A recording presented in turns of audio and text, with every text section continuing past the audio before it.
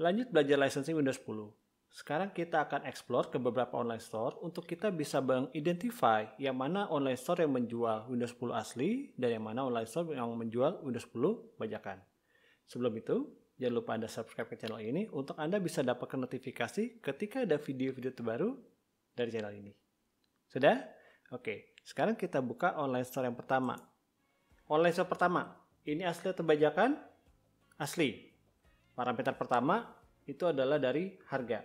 Harganya 3 juta sekian, ini bisa dibilang harga yang wajar untuk Windows 10 Pro. Oke. Dan selanjutnya dia bisa menyebutkan SKU dari Windows 10 Pro yaitu FQC 09131. Ini adalah SKU Windows 10 Pro yang modelnya adalah ESD atau Electronic Software Delivery. Tidak ada bentuk fisik di sini ya. Dia adalah e, nanti akan dikirimkan serial number dan link untuk e, installernya melalui email Anda ya. Dan parameter terakhir adalah official store ya dengan nama Microsoft. Ya.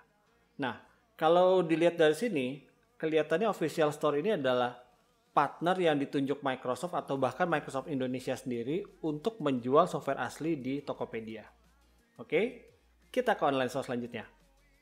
Online store kedua, Nano Komputer dari Tokopedia.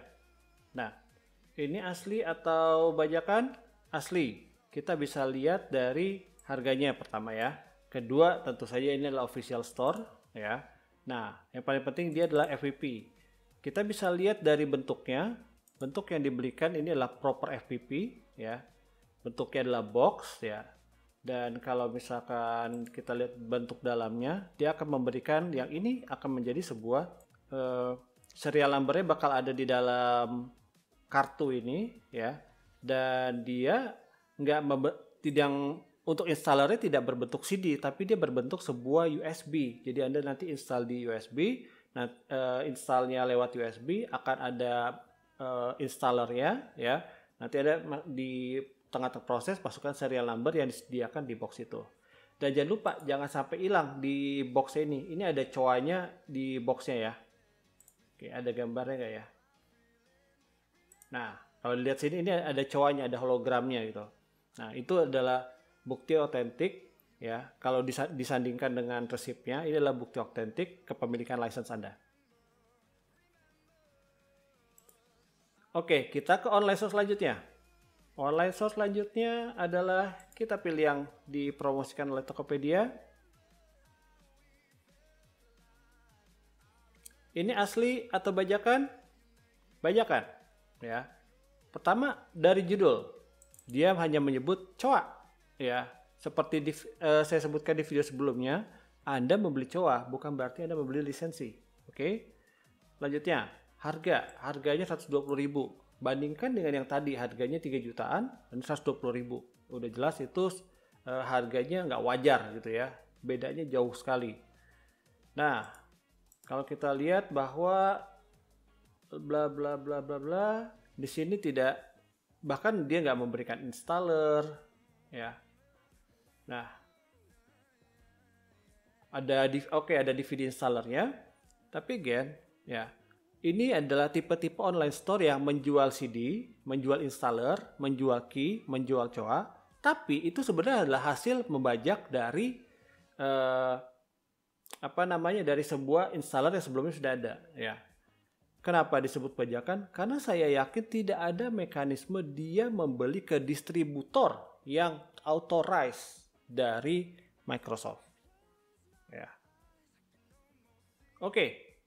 Selanjutnya, Selanjutnya dari Sigma Comtech di Tokopedia. Ini asli atau bajakan? Tidak authorized. Ya, kenapa? Karena yang dijual coa only. Lagi-lagi yang dijual adalah coa only. Oke. Okay. Uh, Microsoft tidak pernah mendistribusikan coa secara terpisah dari perangkat.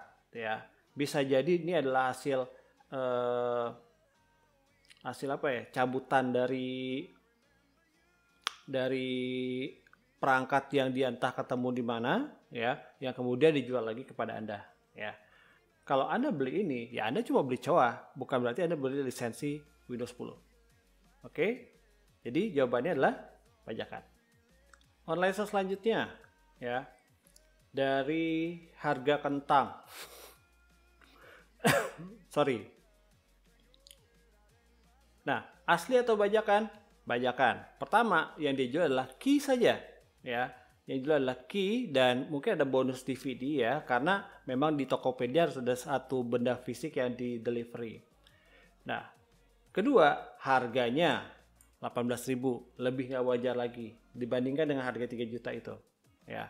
Ini adalah tipe-tipe online store yang hanya menjual key saja ya dan yang termasuk uh, kalau di video saya sebelumnya Anda cuma membeli mekanisme aktivasi Anda bukan membeli lisensi ya apakah ini bisa aktivasi saya yakin bisa diaktifasi ya tapi kalau Anda pakai ini di perusahaan ya ini adalah bajakan oke okay?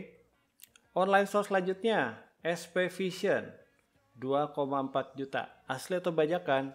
Asli dengan catatan Anda harus beli ini bersamaan dengan laptop atau uh, eh, PC rakitan ya. Nah, kenapa? Ini adalah tipe OEM atau COEM.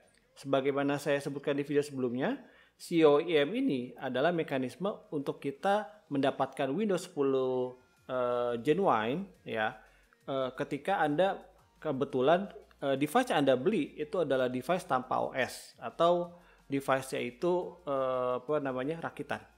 Oke. Okay? Nah, jadi kalau Anda beli ini cuma beli ini aja, ya nggak genuine atau uh, nggak comply ya.